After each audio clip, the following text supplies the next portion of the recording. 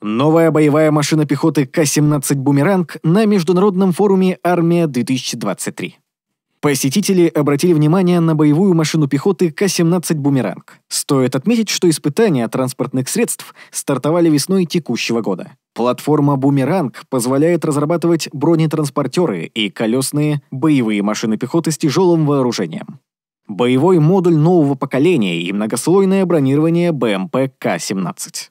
Боевая машина пехоты К-17 преимущественно отличается наличием дистанционно управляемого боевого комплекта «Бумеранг-БМ». Комплектация БМП включает автоматическую 30 миллиметровую пушку 2А-42, пулемет 7,64 и пусковые установки для противотанкового комплекса «Корнет». Управление рассчитано как на наводчика, так и на командира.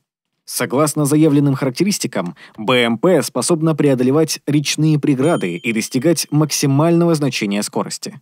100 км в час на шоссе, 92 км в час на грунтовой дороге, 65 км в час на пересеченной местности.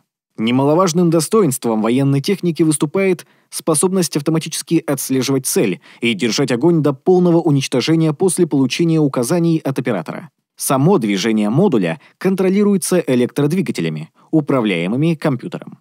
Модернизированная комплектация боевой машины пехоты К-17. В отличие от советских бронетранспортеров, «Бумеранг» защищен от мин. Применение многослойной керамической брони типа «Сэндвич» обеспечивает надежную защиту от ПТУР. В заключение стоит отметить, что «Бумеранг» представляет собой только одну из вариаций техники, разработанных на базе колесной платформы. Первый публичный показ БМП состоялся 9 мая на Красной площади в 2015 году. Согласно утверждениям разработчиков, показатели техники в диапазоне хода по шоссе достигают 800 км, а максимальная скорость — 100 км в час.